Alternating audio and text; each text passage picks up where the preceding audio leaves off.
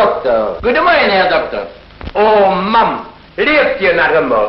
Wieder von drei mit Peimerwerk hätte ich knapp nach vier echt testen. Nee, na wie flott gesehen sie immer raus.